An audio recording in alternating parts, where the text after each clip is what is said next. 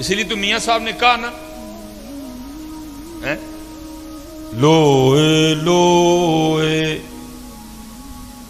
ओ पर लह कुड़िए, खैर खाई की ना दिल हर बंदे ने अपने अंदाज में खैर खाई।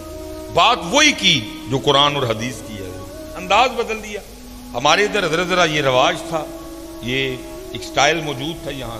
उन्होंने ये वाला अंदाज इख्तियार कर दिया। बात वही समझाई लोए लोए ओ पर लह कुड़िए जे तू पांडा परना ते शाम पई बिन शाम मुहम्मद ते कर जांदी ने डरना डरना ही है है ही कख नहीं तो फिर डरना ही है तो जिदी तैयारी है हज़रत तो, तो तैयारी च नहीं हज़रत बिलाल रज़ी अल्लाह तु के लिए लिखा है हम हमें तो हज़रत को बहाना चाहिए ना वो कोई तैयार होने का हज़रत। लेकिन तारीख कहती है जी मैंने नबी पाक सलाम के विशाल फरमा जाने के बाद हज़रत बिलाल को कभी खुश नहीं देखा कभी मुस्कुराते नहीं देखा। जब देखा हज़रत बिलाल की आँखों से आँसू गिरते देखा गया। लेकिन लिखा जी, उस दिन कपड़े भी नए, खुशी छुपाए ना छुपे।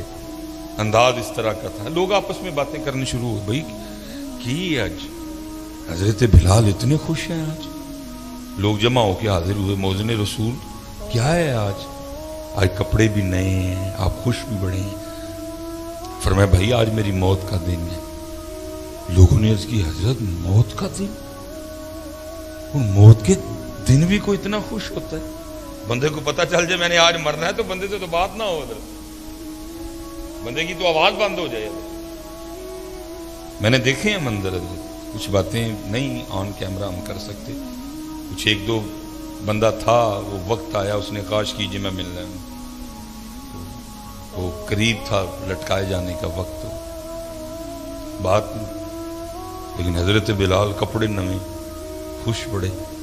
लोगों ने फरमाया, मौत का दिन। इसकी हज़रत, मौत के दिन इतने खुश। फरमाया, चले हो, तुम्हारे लिए मौत है। मेरे लिए तो उनसे मुलाकात का पैगाम है। है? तुम्हारे लिए मौत है। मेरे लिए किधर मौत है? मैं तो उनके पास जा रहा हूँ, अपने महबूब के पास। मैं तो हज़रत अबू बकर से मिलूँगा जाके। तुम्हारे लिए मौत है, मेरे लिए तो नहीं मौत मैं तो हज़रत मीर हमजा से मिलूँगा जाके। तुम्हारे लिए मौत है। मैं तो जनाबे सैयदुना यासिर से मिलूँगा जाके। मैं तो जना, जाके जनाबे मुसब बिन उमैर से मिलूँगा जाके। मैं तो अब्दुल्ला बिन रवाहा से मिलूँगा, अब्दुल्ला बिन जहाज़ से मिलूँगा जाकर तुम्हारे लिए मौत है। मेरे लिए किसने कहा? तैयारी थी ना। इसलिए हजर जी उन्हें ना के ना सुने, मुरीद हुसैन। मुरीद हुसैन। ये ये पैगाम है उनका। ये असल में ना हज़रत जी, ये लिखा है किताबों में कि सिर्फ़ दो हैं जो भूल जाते हैं। एक इंसान, दूसरा जिन। बाकी सब याद है। और ये इस तरह भूलते हैं कि याद करवाने से भी इन पे असर कोई नहीं होता। वजह, क्योंकि दुनिया की मोहब्बत, ठीक है जी? वो, ये हज़रत सईद नमर फ़ारूक रज़ी अल्लाह तुम के लिए लिखा है कि आप बाज़ार तशीफ ले गए। और बाज़ार की कैफियत उस वक़्त ये थी कि एक ऊँट आपे से बाहर हो चुका था।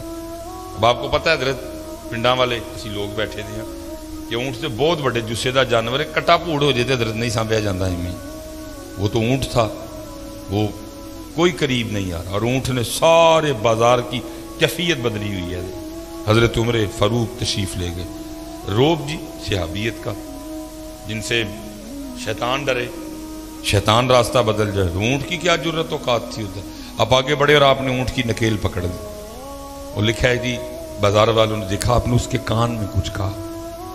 आप तशरीफ़ ले गए, ऊँट उत्थे ही खड़ा। हज़रत चले गए। लोग अपने अपने कामों में लग गए और वो साथ देख रहे हैं कि ऊँट, ऊन भूड़ होया फिर भूड़ होया। लेकिन ऊँट नहीं लिया चलिया कोई। वो लिखा जी, उत्थे ही खड़ा रहा, उधर ही बैठ गया। लोगों ने खाने को आगे कुछ रखा, कुछ नहीं खाया। बैठा, बैठे मर गया लोग बड़े हैरान। हुए उनका, यार, हज़रत उम्र फारूक ने क्या कह दिया? ऊँट के कान में कि ऊँट की जान ही ले ली। वो लोग मुंतजर थे कि अगले दिन हज़रत तशीफ लाएँ तो हम पूछें। वो अगले दिन हज़रत उम्र फ़ारूक रज़ी अल्लाह तसब मामूल बाज़ार तशीफ लाए। लोग हाजिर हुए। अर्ज़ की थी अमीरमिन कल वाला ऊँट याद है? फरमाई याद है। अर्ज़ जी हजूर वो तो मर गया। क्या कहा था आपने उसके कान में? तो आपने फरमाया क्यों? हज़रत आप तो कह के चले गए वो तो हिले नहीं अपनी जगह से। उधर ही बैठ गया हमने आगे खाने को कुछ रखा खाया ही नहीं। बैठा बैठा ही मर गया। क्या कहा था आपने उसके कान में? तो जो आपने कहा मैं अपनी और आपकी आसानी के लिए पंज, पंजाबी में उसका तर्जमा कर देता हूँ। और फरमाते मैंने उसके कान में इतना ही कहा था भाई ऐना भूड़ क्यों होंडे हैं? मरना नहीं याद ऐना भूड़ क्यों होंडे हैं मरना नहीं याद कोई